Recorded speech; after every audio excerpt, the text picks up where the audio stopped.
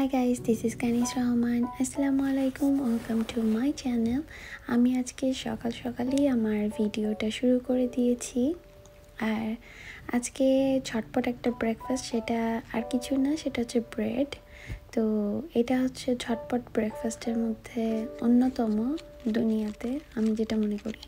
তো এটা আজকে বাবুদেরকে দিয়ে দেবো এবং আমরাও ঝটপট এটা খেয়ে চলে যাব।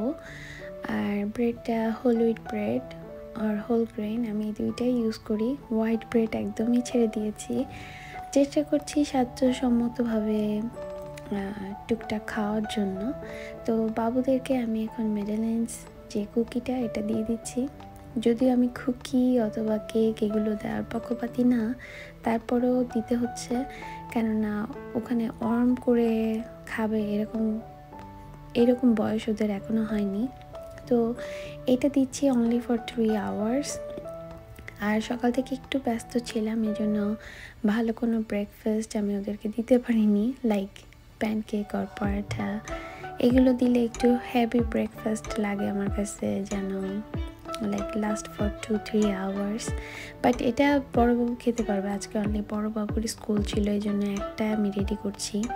আর ছোটোবাবু যেহেতু আমার সাথে থাকবে, ওকে আমি যে কোনো কিছু খাওয়াই দিতে পারব। এই জন্য ওরটা আর আমি মানে ঠিকঠাক করছি না।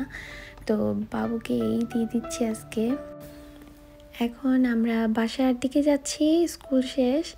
বাবুদেরকে নিয়ে আর সামনে একটা বাস দাঁড়িয়ে পড়েছে, কেননা স্কুল খুলে গেছে ছোট ছোট বাচ্চাদের। আমার মনে হয় দের ইমিউনিটি বেশি, এই জন্য।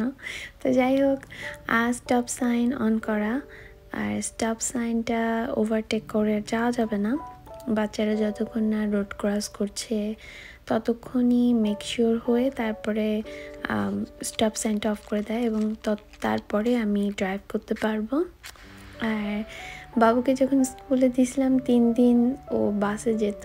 আর আমি যে যে স্কুলে করিডোরে বসে থাকতাম, ওখানে বসে থাকা যায়, ওটা কোনো ব্যাপার না।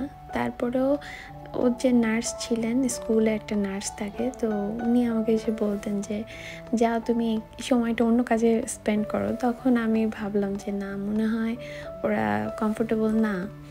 আর তারপরে ওদের, ওদেরকে ওদের মতন করে কাজ করতে দেওয়া উচিত। আমি হয়তো মানে নতুন নতুন বাচ্চা ছেড়েছি, আমি ভালো ফিল করতাম না। তো বাসটাকে ফলো করে করে আমি আবার বাসা পর্যন্ত আসতাম। শেষের দিকে স্পিড দিয়ে এসে পার্কিং লটে পার্ক করে গাড়িটা, তারপরে বাবুকে বাস থেকে আমি পিক করতাম।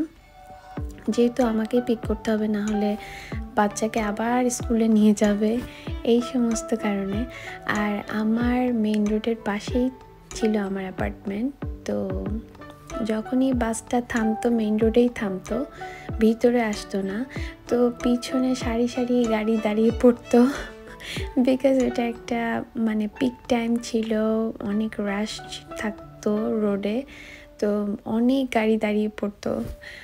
আর আমার প্রেসিডেন্ট যখন নামতো, আমার তখন মনে হতো, আল্লাহ, আমি কেন যে একটা বোরকা পরে আসলাম না, যে সবাই দাঁড়ায় আছে হয়তো আমাকে দেখছে কেননা আমি তো ওখানে দাঁড়ায় আছি, এরকম একটা অবস্থা। তো সেই সেই যখন আমি স্কুলে যেই থাকি, আবার আসি মানে আমি বাচ্চাকে জাস্ট গাড়িতে উঠাইছিলাম, ও জন্য প্র্যাকটিস হয় এই সমস্ত কারণে।